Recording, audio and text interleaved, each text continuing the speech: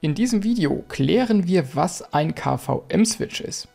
Ich gehe dann auf einen KVM-Switch für 4K-Monitore näher ein und ich erzähle euch auch, was mir daran gut und was mir daran schlecht gefallen hat. Los geht's nach dem Intro.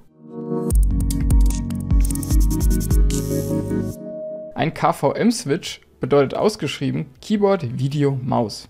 Und damit ist auch fast schon alles gesagt, denn das ist nämlich die Aufgabe eines KVM-Switches, Keyboard, Video und Maus entsprechend umzuschalten. Was heißt das in der Praxis? Ich kann also an einen Monitor und ein Tastatur-Maus-Set zwei verschiedene PCs anschließen und dann mit einem Knopfdruck zwischen dem einen und dem anderen PC hin und her schalten.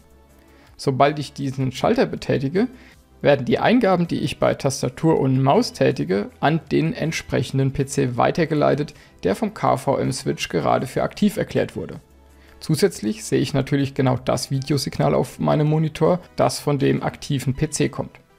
Das ist also eine sehr praktische Sache, wenn ich mehr als einen PC im Einsatz habe. Den Switch, den ich mir gekauft habe, schimpft sich auf den Namen Chitec KVM Switch für DisplayPort. DisplayPort ist die Anschlusstechnik meines Monitors. Natürlich hätte ich auch ein Modell für HDMI nehmen können, aber DisplayPort hat mir hier einfach besser gefallen. In der Produktbeschreibung sieht man, dass hier auch 4K unterstützt wird bei 60 Hz. Das ist im Prinzip genau das, was ich brauche und deshalb habe ich mich für diesen Switch entschieden und wenn ich ehrlich bin, auch wegen dem Preis, denn der kostet um die 50 Euro und das ist schon ziemliches Alleinstellungsmerkmal.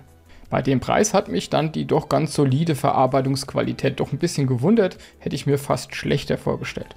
Ein bisschen eigenwillig ist dafür die Verkabelung. Zum Beispiel wird er nicht über ein Micro-USB oder USB-C mit Strom versorgt. Das Stromkabel selbst ist zwar ein USB-Kabel auf der einen Seite, auf der anderen Seite hat er aber so einen runden Stecker, wie man im Video sehen kann. Das finde ich ein bisschen schade, hätte man hier Standardkabel wie Micro-USB oder USB-C genommen, wäre das einfacher austauschbar gewesen, zum Beispiel wenn es kaputt geht. Auch ein bisschen eigenwillig ist die USB-Verkabelung, denn am Ende hängen hieran noch Klinkestecker für Mikrofon und Lautsprecherausgänge. Warum eigenwillig? Naja, weil am anderen Ende eben nur ein USB-Kabel ist und nicht auch nochmal die Klinkenstecker. Das bedeutet, das Audiosignal wird hier irgendwie über diesen USB-Stecker geführt.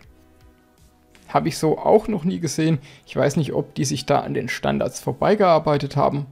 Allerdings würde das halt bedeuten, dass man diese Kabel halt auch nicht austauschen kann gegen irgendwelche Standardkabel. Gut, das ist jetzt Meckern auf hohem Niveau, weil das Paket kommt natürlich erstmal so und funktioniert ja auch so. Die Kabel sind ausreichend lang, da gibt es also nichts zu meckern. Das Hin- und Herschalten hat auch völlig problemlos funktioniert, auch da hatte ich keine Schmerzen und kann überhaupt nichts Negatives dazu sagen. Dass ich jetzt am Bildsignal was verändert hätte, kann ich auch nicht so wirklich sagen.